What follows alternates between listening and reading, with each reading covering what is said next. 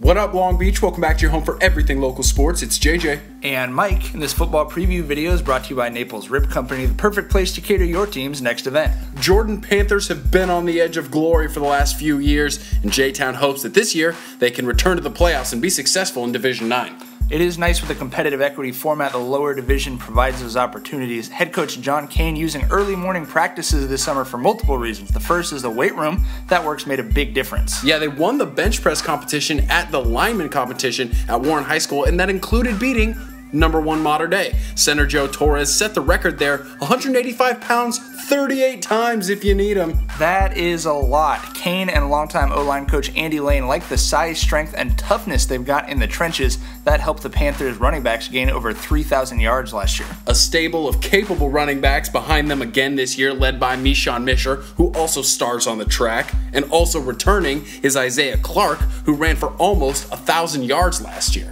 Panthers probably be a little bit more able to throw the ball as well this year, but it was a running game and an improved defense late in games that will be the key to their success. Clark gave the Panthers a 19-0 lead in a win-and-in finale last year against Lakewood, but the Lancers charged back to win it in the waning minutes. If Jordan wants to get back to their winning ways, they're going to have to find a way to close out games like that one against Lakewood. If things go their way, that's the difference between winning and losing and getting to fly that flag.